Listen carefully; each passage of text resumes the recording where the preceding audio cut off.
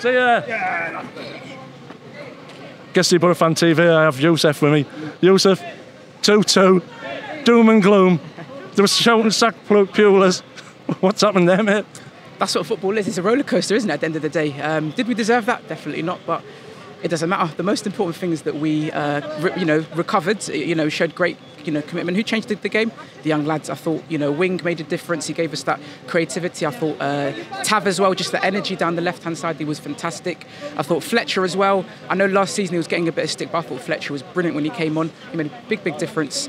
Braithwaite, you know, when, when you have you know um, lots of options, you, Braithwaite's always a, a, different player when he sort of came on. Even I know Britt struggled in the first half, but what do you expect when you when he's the only one that's sort of up front? But when he has support, it makes a huge, huge difference. And and you know, it just gives you great belief that you know if, if, if you just attack can make a huge difference. As soon as Wing and Tavernier come on, options appeared. Like you say, we had actually got men into yeah. Millwall's half.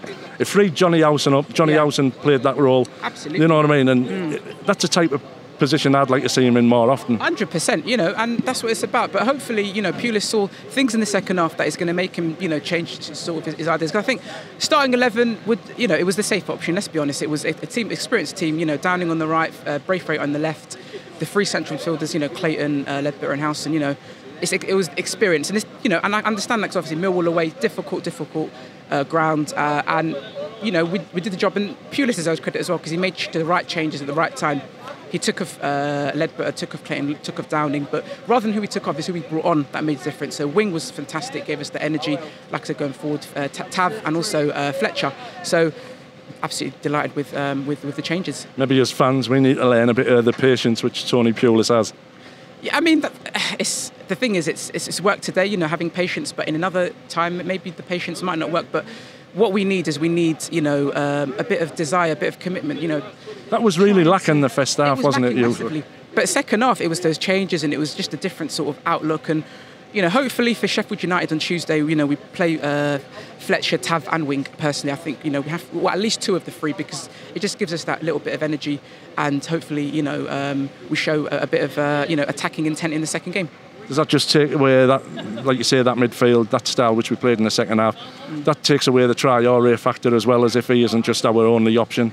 Absolutely, you know, you know, obviously Adama's irreplaceable, was absolutely fantastic, but you, you, saw second half with the players that came on, it, it, it, they gave us the, the, the, pace and the you know creativity. Okay, they're not Adama Traore because no one likes Adama Traore. He's, he's, he's one in a million kind of uh, player, but the players that came on gave us energy, gave us commitment, and they were absolutely brilliant. So, yeah, fair play.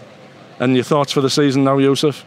At the end of the day, you know, there's a few days left for the transfer window. If we get a few players in, obviously that would be great. Ben Gibson looks like he might be going to, to, to Burnley, you know, and obviously good luck to him. Um, Adama Traore looked like he might be moving on as well.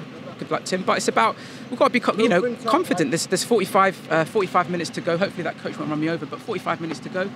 45 games to go, sorry, um, and hopefully we can show what, what, we're about for the you know rest of the season for sure.